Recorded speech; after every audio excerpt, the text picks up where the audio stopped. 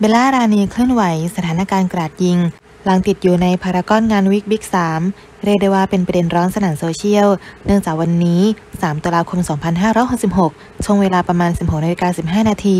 มีการรายงานเหตุด่วน จากประชาชนในพื้นที่ว่า ได้ยินเสียงปืนดัง ภายในห้างสรรพสินค้ากลางกรุงเทพ อย่างสยามพารากอน ย่านสยาม ถนนพระรามที่ 1 ในพื้นที่แขวงปทุมวันเขตปทุมวัน กรุงเทพมหานคร โดยจากการให้ข้อมูลของประชาชนผ่านทวิตเตอร์นั้นพบว่า เสียงดังคล้ายปืน อาจมาจากบริเวณชั้น 4 ของห้าง หรือบางรายก็รายงานว่า เสียงคล้ายปืนนั้น ดังมาจากห้องน้ำชายชั้นจี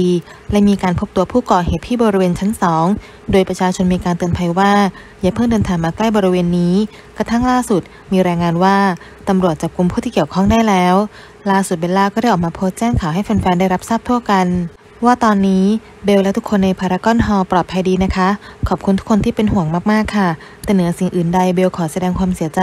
ต่อครอบครัวผู้สูญเสีย และร่วมไว้อาลัยให้ผู้เสียชีวิตทุกท่านค่ะรวมถึงส่งกำลังใจให้ผู้บาดเจ็บ และทุกๆคน เบลขอให้ทุกคนปลอดภัยนะคะ